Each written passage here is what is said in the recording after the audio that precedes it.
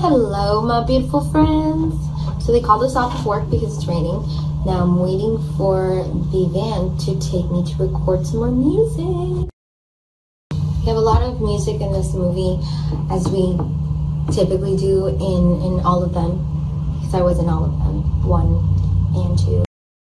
Things you might not know about the whole recording process is that there are a lot of different voices. Um, for Pitch Perfect 2, Kelly, Shelly, and I, we went into the recording studio and we recorded all of the um, alumni Bella voices for the finale.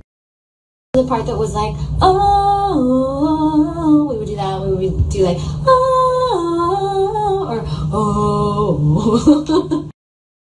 and that's a little pitch perfect fact for you.